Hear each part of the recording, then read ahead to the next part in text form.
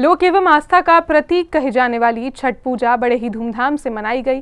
संतान की लंबी उम्र व परिवार की सुख समृद्धि की कामना के साथ व्रती महिलाओं ने छठ पर्व पर निर्जल व्रत रखकर डूबते और उगते सूर्य को अर्घ दिया। इस अवसर पर देश भर के तकरीबन सभी घाटों पर छठ पूजा के लिए बनाए गए स्थानों पर महिलाओं ने पूजा अर्चना की। तीन दिन से व्रत रह रही महिलाओं ने छठ माता को गन्ना, फल, फूल व तमाम प्रकार के मिष्ठान आदि अर्पित कर अपने पुत्रों की लंबी उम्र की कामना की। दो दिन के कठिन निर्जला व्रत के बावजूद भी महिलाओं के चेहरों पर पूजा के प्रति काफ़ी उत्साह दिखाई दिया। लोग अपनी ही धुन में मगन होकर नाच गा रहे थे। छठ मैया की पूजा का बहुत बड़ा महत्व है। इसको हम लोग बहुत श्रद्धा और भक्ति से रखते हैं। ये पूजा करने से हमारी सभी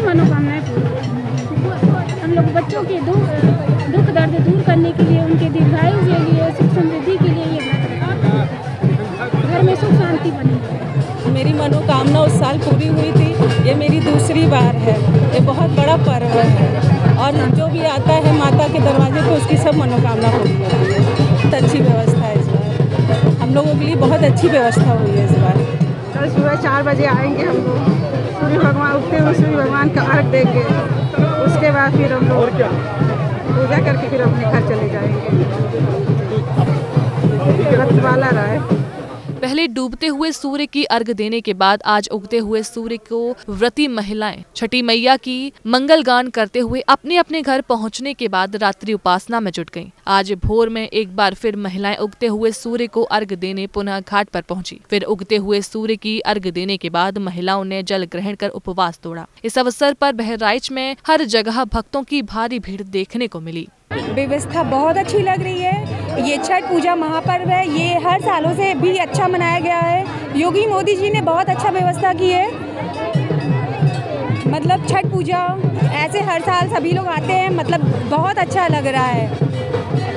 छठ छठ पूजा के लिए मतलब बहुत ही आस्था है। छठ पूजा सच्ची पूजा है, जो भी मानो सब पूरी हो जाती है। माता ये छठी मैया का है, जो हम लोग हर साल व्रत रखते हैं माँ के लिए। ये छत्तीस घंटा हमारा व्रत रहता है। जो कि पहले दिन का होता है नहाए खाए, दूसरे दिन का होता है खरना। और आज है हमारा तीसरा दिन, जो शाम को सूर्य भगवान को अर्घ देने के पश्चात अभी रात में हम लोग आएँगे, सुबह भगवान सूर्य उदय होंगे, उनका हम लोग सूर्य को जल देंगे और हमारा व्रत होगा संपूर्ण। ये हम अपने सुहाग के लिए रखते हैं, अपने बच्चों के लिए रखते हैं, अपने परिवार के लिए रखते हैं। इस प्रकार दो दिन तक चली कड़ी उपासना के बाद आज छठ पूजा का समापन हो गया।